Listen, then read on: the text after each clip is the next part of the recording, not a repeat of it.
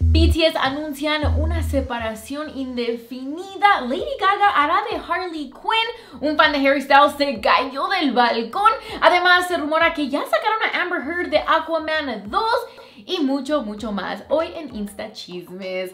Hola, ¿qué tal mis amigos? ¿Cómo están? Bienvenidos a Insta Chismes, aquí desde mi Airbnb. Se me olvidó que también tenemos que platicar de este nuevo show en Netflix del juego del calamar y va a ser un reality, pero chicos, cálmense que esperemos que nadie muera. Pero bueno, vamos a comenzar con lo que más eh, llamó la atención esta mañana en Twitter y en todas las redes sociales, que BTS se medio separa, aunque como siempre lo anunciaron como un descanso indefinido. Les cuento que el grupo, como todos sabemos, pues se formó en el 2010, entonces ellos ya llevan casi 10 años si mis matemáticas están correctas, eh, llevan... Espérenme, espérenme, espérenme. Ah, ok, debutaron en el 2013, entonces sí, son nueve años juntos. Como todas las bandas, pues cada chico quiere como que crecer individualmente y eh, así fue como anunciaron este descanso indefinido, tal como lo ha hecho One Direction, Fifth Harmony. De hecho, les publiqué la pestaña de comunidad esta mañana y algunos de sus comentarios decían, Mi Chesters dice, la verdad sí que se tomen un descanso y que disfruten, ya han trabajado mucho, son nueve años que después ya hará tiempo que cuando vuelvan ya sea más relajado y con mucha actitud.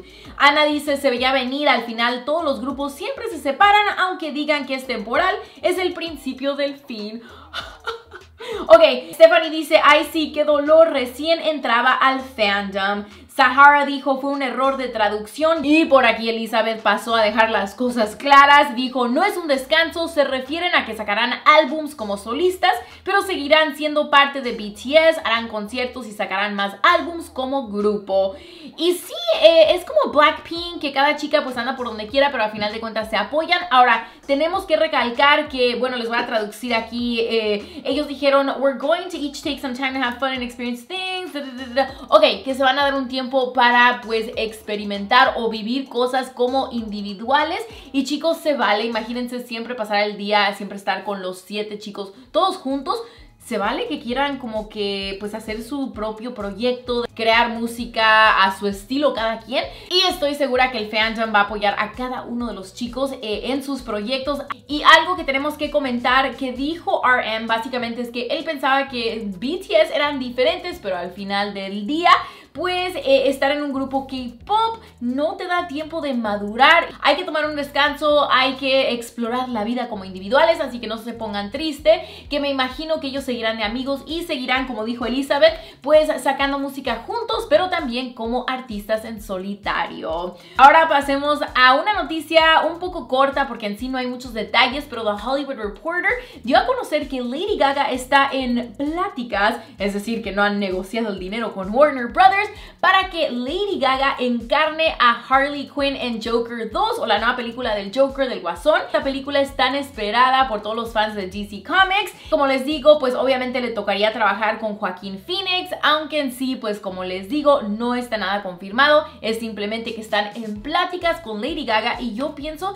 que Lady Gaga sería perfecta por dos razones. Número uno, esta nueva versión del Joker va a ser un musical, entonces Lady Gaga pues ya pues tiene su, su experiencia en el rango del canto. Además, en la película de A Star is Born hizo fenomenal trabajo. Y número dos, pues es Lady Gaga. Ella como que se puede meter en estos personajes un poco diferentes. Así que vamos a ver si sale más noticias o si la misma cantante pues lo confirma. Estamos hablando de rumores, algo que no se rumora pero ya se confirmó. Es Squid Games 2 o la segunda temporada del El Juego del Calamar.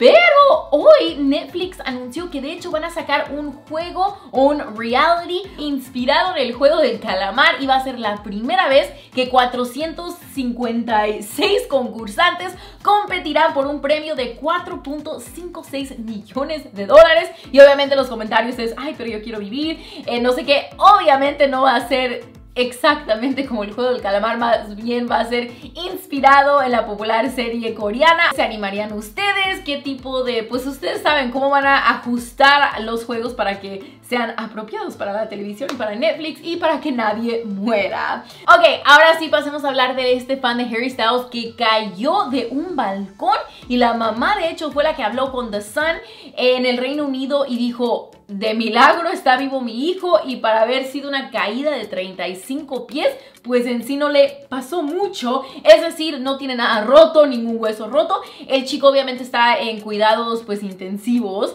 pero que no tiene nada roto, chicos, y sobrevivió esta caída. Ahora, se desconoce por qué cayó el chico del balcón, andaría pues tomadito, se tropezaría. De hecho, yo cuando voy al, o iba, bueno, ya no he ido porque la pandemia, pero cuando iba a los conciertos en el Staples Center de Los Ángeles, siempre me preguntaba, ¿los balcones te daban como aquí?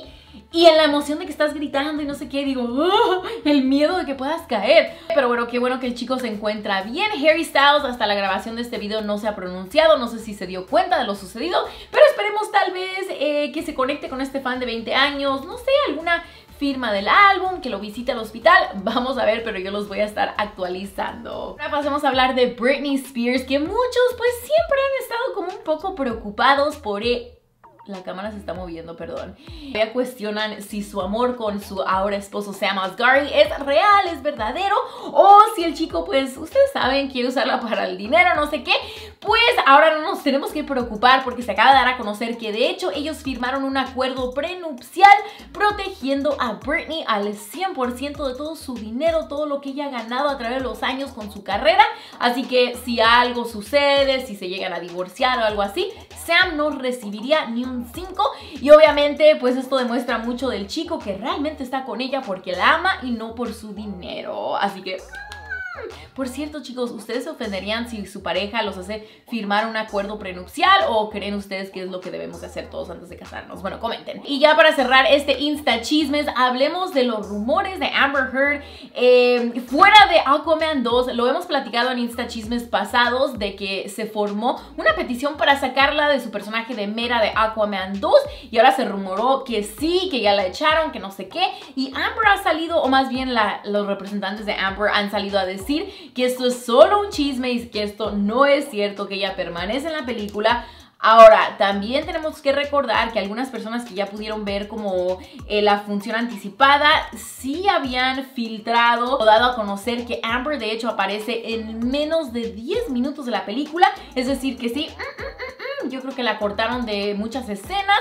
Ahora, el rumor era que iban a, hacer un casting nuevo y a elegir a una nueva mera, pero obviamente imagínense, la película la grabaron el año pasado, ya está grabada, ya hasta le pagaron a Amber Heard, así que dudo que hagan esto, pero esperemos que no les afecte en la taquilla porque la verdad yo en lo personal no me quiero meter en el tema de que si estoy al lado de Johnny Depp o al lado de Amber. Yo cuando veo películas trato de verlas sin pensar en las vidas personales de los actores y a mí me había gustado muchísimo el personaje de Mera, así que no sé, pero ¿qué opinan ustedes? ¿Dejarían de ver una película porque la actriz está involucrada en esto, porque hizo algo malo o el actor hizo algo malo? No sé, es algo que deberíamos de platicar aquí debajo.